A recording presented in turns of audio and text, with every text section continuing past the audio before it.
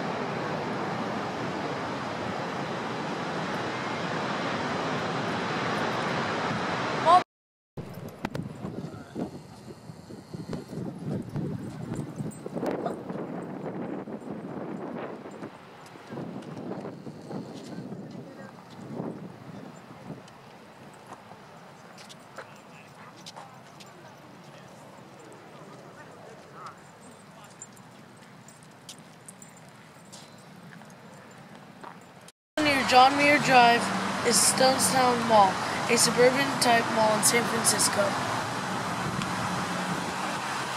Another featured location near John Muir Drive is the college San Francisco State University. John Muir, born in 1838 and died in 1914, was a great adventurer. He wanted to know a lot about nature and wanted to save as much of it as possible, so he traveled America's country in search of our natural treasures. He was one of America's most famous naturalists and environmentalists. He was also a very good author. He fought for the preservation of nature and even has parks and schools named after him, including Muir College, UCSD, and many other schools. His writings distributed greatly with the making of the parks Yosemite, Sequoia, Mount Rainier, Petrified Forest, and Grand Canyon National Parks because of his books.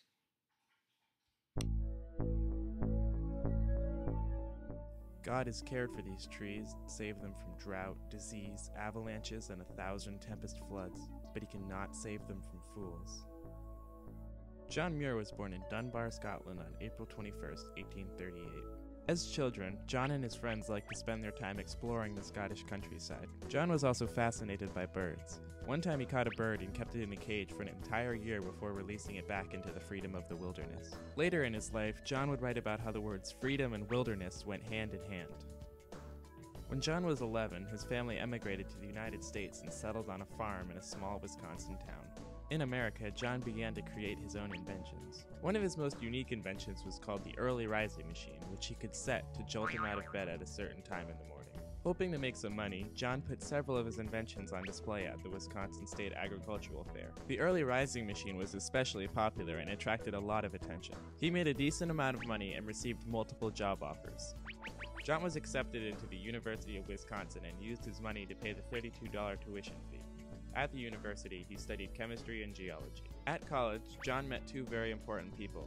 One was a botanist named Griswold, whose work inspired John to begin studying plants himself. The other was a man named Increase Lapham, who was the first person John had ever heard speak about the importance of preserving the wilderness for future generations. Later in his life, this is what John would become best known for. After college, John set out on an amazing journey. First, he walked a thousand miles from Indianapolis to the Gulf of Mexico. Along the way, he wrote down and sketched his observations of the plants he saw in a journal which he labeled John Muir, Earth Planet, Universe. Next, he traveled by boat to California via the Isthmus of Panama. When he arrived in San Francisco, he took one look at the city and immediately wanted to leave, so he set off west towards the Yosemite Valley. While standing on top of a mountain outside of the valley, John observed many boulders lying in unusual places. So, using his knowledge of geology, he theorized that the valley had been carved out by glaciers. John wrote an article on his new theory and submitted it to a magazine. They published it and asked him to write more. Over time, John wrote many articles that were published all throughout the country, gaining him nationwide attention. John became engaged to a woman named Louisa Wanda Strentzel, and on April 14, 1880, they were married. John returned to the Yosemite Valley and noticed that parts of it had been destroyed by humans. He began to fight for the creation of a national park around the valley, and on October 1, 1890, President Benjamin Harrison signed the bill that established Yosemite National Park. Soon after that, John created the Sierra Club, which was a group of people completely devoted to protecting the Sierra Nevadas, another valley east of Yosemite. And on December 24, 1914, John passed away from pneumonia at the age of 76. So, why was he so important? Well, John Muir had a huge impact on the spiritual lives of many Americans. Through his writings, he was able to make many people aware of the beauty of the American wilderness and why it needed to be preserved. In one of his books titled Our National Parks, John wrote, Thousands of tired, nerve shaken, over civilized people are beginning to find out that going to the mountains is going home, that wilderness is a necessity, and that mountain parks and reservations are useful not only as mountains of timber and irrigation rivers, but as fountains of life. John's founding of the Sierra Club, which still exists today, created even more awareness towards the need to preserve the American wilderness for generations upon generations. One of the major themes of the Gilded Age was urbanization, Many people began to move to cities because of their great appeal. Moving to the city promised access to new things such as skyscrapers and new modes of transportation. During a time when it was clear that cities were the place to be, John Muir was one of the driving forces behind the idea of anti urbanization that if too much of the country was urbanized, none of the beautiful wilderness would remain. If it weren't for him, who knows what the wilderness would look like today, or if there'd even be one.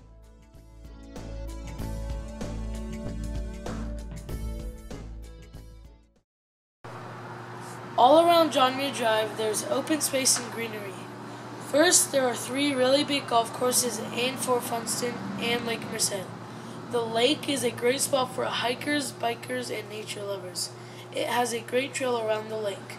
The trail is 4.5 miles, and if you ever go around the lake, you'll find a lot of people fishing and having picnics on the edge of a beautiful park around the lake. At Fort Funston, you'll find everything from dog walkers to hang gliders to bikers. And the golf courses with the Pacific Ocean nearby are some of the prettiest in the Bay Area.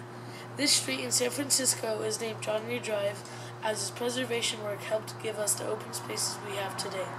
He was a prominent conservationist, a Sierra Club founder, and was America's most famous and influential naturalist and conservationist.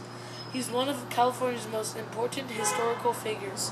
He has been called the father of our national parks, wilderness prophet, and citizen of the universe.